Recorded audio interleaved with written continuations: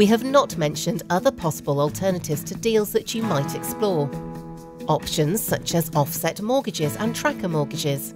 Sometimes you can get interest rate discounts for short periods, for example, a year. There are also government backed schemes such as shared ownership and help to buy. These may be suitable for your circumstances.